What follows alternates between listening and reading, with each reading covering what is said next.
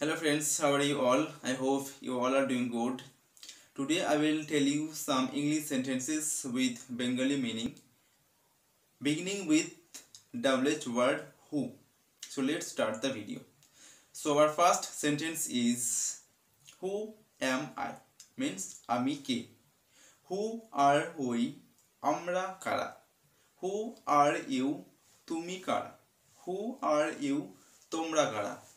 who is she say K who is he means say K who are they তারা কারা who is the boy ছেলেটিকে who are the boys ছেলেটি কারা who is the man লোকটিকে who are the men লোকগুলি কারা